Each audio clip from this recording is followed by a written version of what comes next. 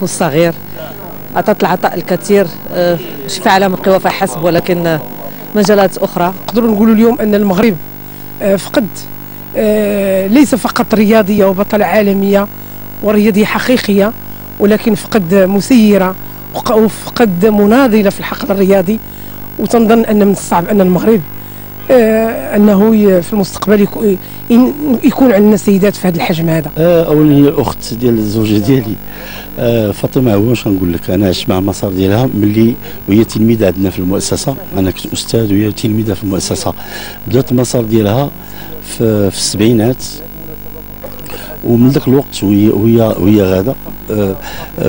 درجات في جميع السلام. درجات كادات مع الفتيات درجات مع مع الشابات وفي الآخر كانت مع مع الكبيرات وعطات المغرب الكثير.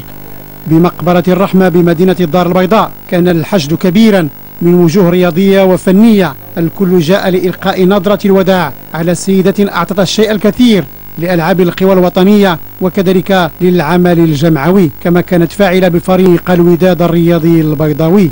والكثيرون الذين عيشوا الفقيدة يشهدون لها بحسن الخلق والتفاني في خدمة الرياضة المغربية.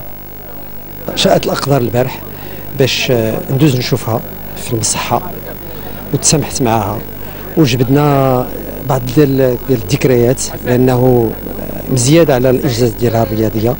كانت واحد الفاعلة جمعوية كبيرة وكانت عندها طموح بزاف. الفقيدة فاطمة عوام كانت من معلمة من المعالم الرياضة الوطنية وأدت الشيء الكثير آه، على المستوى الرياضة التي كانت بطلة فيها هي ألعاب القوى. وكذا على مستوى فريق الوداد الرياضي حيث أشرفت على على الفريق النسوي بفرع كرة القدم. بهذه المناسبة جينا باش نشاركوا هاد الناس هادو أحزانهم ونمثلوا فريق الوداد في, في هذه الجنازة هذه مكانة الفقيدة كان لها وزن كبير بالعائلة الصغيرة والكبيرة. لذلك فحرقة الفراق كانت قوية وبادية على الجميع.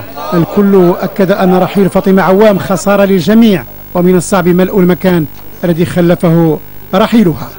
افتقدنا الأخت فاطمة وغنفتقدوها لأنه مكانتها في داخل العائلة الكبيرة ديالها اللي هي العائلة الرياضيه اللي كننتمي لها حنا كلنا عائلة كبرنا بعضنا لما جيت الألعاب القوى كانت فاطمة تبارك الله في الأوج ديال العطاء ديالها. يعني كل ما عطاته الألعاب القوى المغربية وكذلك الرياضة المغربية آه، شيء عظيم اللي غادي يبقى تيتكلم عليها لأنه كذلك وليداتها الله يخليهم والله الله الله الله ينجحهم.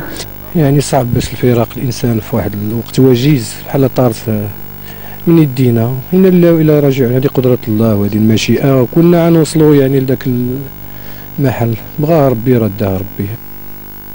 الأجل المحتوم يضع نقطة النهاية لحياة فاطمة عوام. الإنسان والبطلة التي تركت رصيدا مهما بمضمار أم الألعاب. من خلال مشاركتها في أكثر من 300 منافسة دولية فازت خلالها بثلاث ميداليات في الألعاب العربية بالدار البيضاء سنة 85 900 وألف. وتوجت بطلة إفريقيا بميداليتين ذهبيتين بعنابة سنة 88 900 وألف وفازت بميداليتين ذهبيتين خلال الألعاب الفرنكوفونية التي أقيمت بالدار البيضاء سنة 89 900 وألف. وكانت أول عربية وإفريقية تحطم الرقم القياسي في مسافة المايل المزدوج. لكن القدر شاء أن تلاقي فاطمة عوام ربها يوم السابع والعشرين من شهر دجنبر 2014 تاركة أربعة أبناء ورصيد تاريخي من العطاء الرياضي. رحم الله الفقيدة وإنا لله وإنا إليه راجعون.